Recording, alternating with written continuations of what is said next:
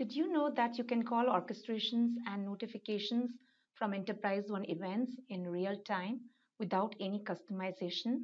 This brings the power of orchestrations, including process automation and integration with third party applications, right into the context of Enterprise One applications. As part of its continued endeavor to empower citizen developers, JD Edwards has gone one step further to make the powerful capabilities of the orchestrator available from interactive applications. Using form extension, citizen developers can now associate an orchestration with a form event on the glass and contextually map the orchestration parameters, enabling them to call orchestrations from the form context in real time. This means that you can now meet tangible business logic requirements across industries, regions, and for integration on the glass more easily using low code methodologies at a low cost.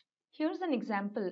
Creating a sales order for transportation management is a tedious process involving several steps such as entering the order, defining the routing options, approving and confirming the shipment, and then updating the freight charges. Won't it be nice if you could complete all these steps with only a click of a button? With form extensibility, you can do all this and more. All you need to do is transform all these business processes into automated operations by creating an orchestration and then associating this orchestration with a form event. Associating an orchestration with a form event can be achieved in some simple steps. Using this intuitive wizard, you can choose the control, event, and the orchestration or notification and map the input and output parameters to save the association of the orchestration with the event. By mapping the output parameters, you can map the orchestration output to the form controls.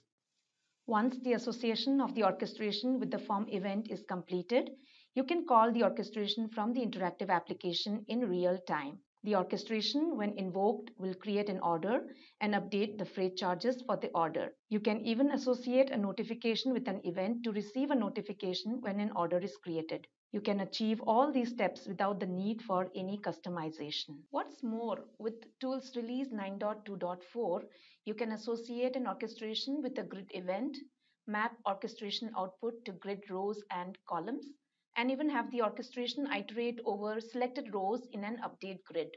What this means is that if, as an example, you want to simplify the process of updating the order status of multiple lines on a sales order, you can do that with just a click of a button instead of going through a series of steps.